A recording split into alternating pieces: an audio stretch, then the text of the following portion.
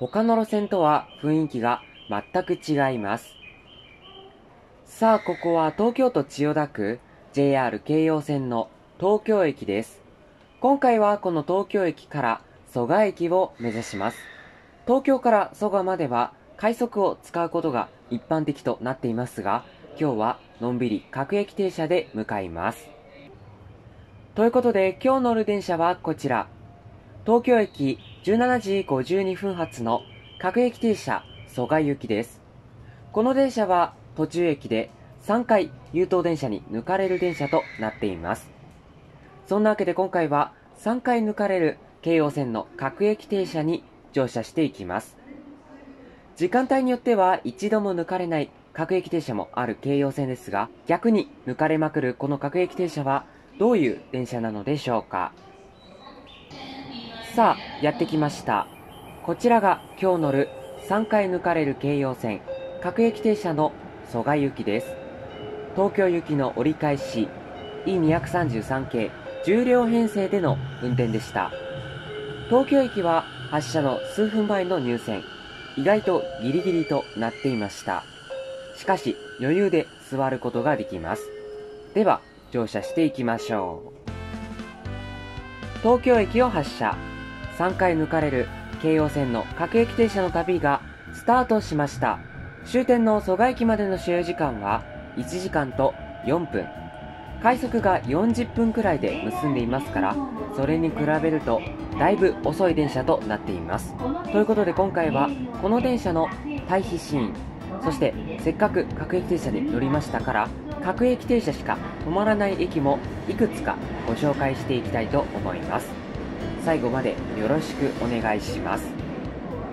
電車は東京駅を発車したらポイントを通過しその後はどんどん加速していきます。この先新木場くらいまでは降りる人よりも乗る人の方が多い区間となっております。では早速各駅停車しか止まらない駅をご紹介していきます。電車はまもなく越中島駅に到着します。この駅は京葉線の中では最も乗降客数が少ない駅1日の乗降客数は4000人台ですが近年は増加傾向にあるようですこの駅近くには東京海洋大学があり学生利用者が多いことが特徴となっていますあとは発車メロディーがすぐ切られることが有名な駅となっています。そしてこちらはその隣の潮見駅を発車したところです。ここから先は終点の蘇我まで全て地上区間となっています。この潮見駅も各駅停車しか止まらない駅。1日の乗降客数は1万人くらいとなっており、越中島の2倍以上の利用者がいるそうです。駅周辺には高層マンションがたくさん並んでいたりプリンスホテルが位置していたりするのが特徴です東京まで3駅というのはなかなか便利な地域でしょうさて東京駅を発車してから14分大きな観覧車も見えてきました。まもなく電車は葛西臨海公園駅に到着します。この駅は各駅停車しか止まらない駅でありますが同時に通過線付き1面2線の対比可能駅となっています。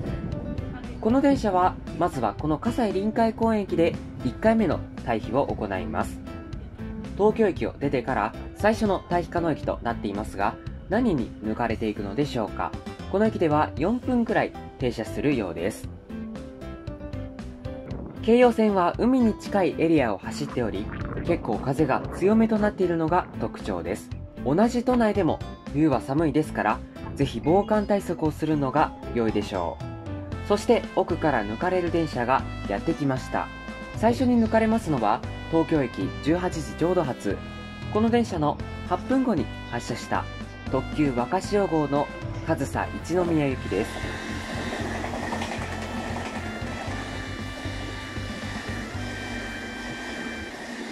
結構なスピードで通過していきました。E257 系を2つつなげた各駅停車と同じ重量編成での運転でした。電車は葛西臨海公園駅を発車。葛西臨海公園駅は主に朝と夜の時間帯に退避を行っており、この電車もまさに夜の時間に運転される電車となっていました。ちなみに反対側に停車していたあの電車もちょうど退避を行っているようです。そしてこの葛西臨海公園駅が京葉線の東京都内では最後の駅。この先電車は県境となる江戸川を渡って千葉県に入っていきます。千葉県内も引き続き退避に注目していきましょう。さて電車の速度がまたゆっくりになっています。まもなく電車は千葉県内に入ってから2駅目新浦安に到着します。この駅は2面4線の退避可能駅となっていますがここで2回目の退避を行っていきます。先ほど2駅手前の葛西臨海公園で特急に抜かれたばかりなのですがまた退避を行います。さて今度は何に抜かれていくのでしょうか。新浦安駅は退避線にあたる1番線の到着。ここでは4分程度停車するようです。新浦安駅で抜かれるのは快速君津行きです。こちらは東京駅を18時2分。この電車の10分後に発車した電車となっています。京葉線の快速はだいたい特急の続行として走るのが特徴となっておりこの快速も先ほどの若潮の2分後に出発する電車となっていました。さあやってきました。こちらが今日2回目に抜かれる快速君津行きです。快速はやはり混んでおり新浦安から乗る人も結構いるようです。ラッシュ時の京葉線は快速を使わないとだいぶ時間がかかってしまいますから利用者が集中してしまうのでしょう。京葉線はこのご時世でもまだ通勤電車という感じが残る路線となっていました。快速君津行きは到着後すぐに発車。この電車は京葉線の終点蘇我を越えて内房線の君津まで直通する電車となっています。混雑して当然の電車です。電車は新浦安を発車。快速はあれだけ混んでいましたがこの各駅停車は座ることもできるくらい空いております。遠距離移動の利用者が多い路線はラッシュ時であっても各駅停車が空いていることが特徴。京王線もその一つとなっていました。ただし京王線は朝は各駅停車含めて混んでいますから注意が必要です。さあこの先は各駅停車しか止まらない駅の紹介を続けながら次の退避を行う駅を目指していきます。ということで電車はまもなく市川塩浜駅に到着します。この駅は武蔵野線直通の電車との分岐駅となっておりここから東京までは本数が1時間に3本くらい増発されます。1日の乗降客数は7000人台。開業した当初は3000人くらいしかいなかったそうですから立派に成長した駅と言えるでしょう。ホームで待っている人の半分くらいは武蔵野線に乗る人となっています。そして電車は武蔵野線方面の線路と分かれ京葉線のみが走る区間を走行しております。その区間の途中にあるのが二俣新町駅。この駅は各駅停車しか止まらず武蔵野線の電車も来ませんからこの電車が頼みの綱となっています。本数が少ないせいか利用者は4000人台。たとえ朝ラッシュの時間であっても17分も電車が来ないことがあるそうです。ホームには結構な人が待っていました。寒い中本当にお疲れ様です。そしてこちらは新習志野駅を発車。この駅は3面4線という複雑な構造となっていますが各駅停車しか止まりません。この駅近くには京葉車両センターという車両基地がある関係で始発電車が多く運転されています。向かい側に停車していたあの電車もまさに新習志野始発の電車。またこの駅は退避を行うこともできますがこの電車はスルーとなっていました。1日の乗降客数は9000人台と他の駅よりかは少し多めとなっています。さて都会らしい街並みが広がってきました。まもなく電車は海浜幕張駅に到着します。この駅は2面4線の退避可能駅。視聴者の皆様お待たせしました。ここで今日3回目の退避を行っていきますただ海浜幕張駅は快速の各駅停車区間がスタートする駅ですから快速に抜かれていくとは考えにくいです。では、何に抜かれていくのでしょうかこの駅でも4分くらい停車することとなっております。さて、海浜幕張駅に到着しました。この駅で抜かれるのは通過電車です。海浜幕張駅は快速は全電車停車し、特急も一部停車する主要駅となっていますが、京葉線にはもう一つ私別があります。その私別がこの後抜かれる電車です。さあ、やってきました。こちらが今日3回目に抜かれる通勤快速の勝浦鳴門行きです。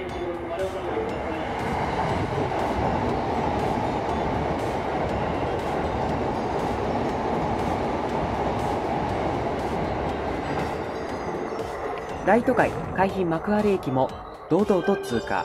こちらは東京駅を18時16分。この電車の24分後に発車した電車となっています。電車は海浜幕張を発車。これで今日の企画タイトル通り3回抜かれていきました。そしてこの各駅停車の次の電車はこの先は各駅に止まる快速ということでもう抜かれる電車はありません。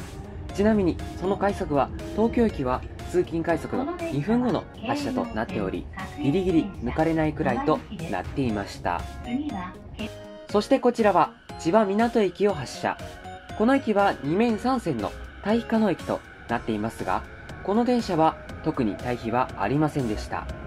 千葉港駅での対比は少なめとなっており蘇我までどうしても逃げ切れない電車に限って退避を行っているようです。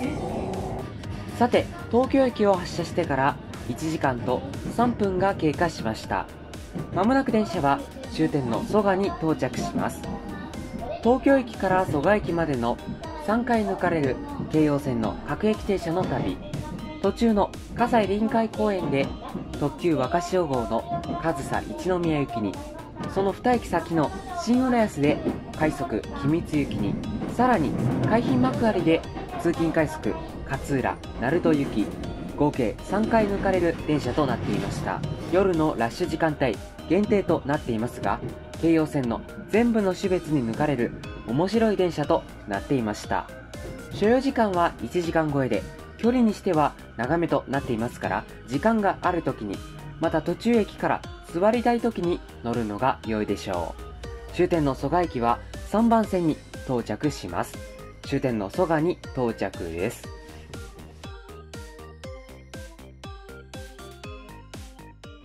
はい。お疲れ様でした。終点の蘇我に到着です。いやー長かったですねやっぱり。1時間超えということで。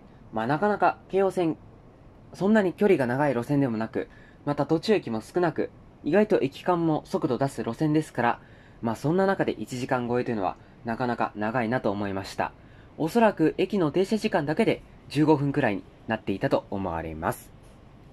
乗ってきた電車は折り返し、快速電車の東京駅となるそうです。この電車は今度は途中駅で何本か電車を抜かしていくことでしょう。はい。ということで今回は、京葉線の3回抜かれる各駅停車をご紹介してきました。このような京葉線の動画、特に一度も抜かれない京葉線の各駅でした。また今後ご紹介していきたいと思います。気になる方はぜひチャンネル登録をよろしくお願いします。ということで最後までのご視聴ありがとうございました。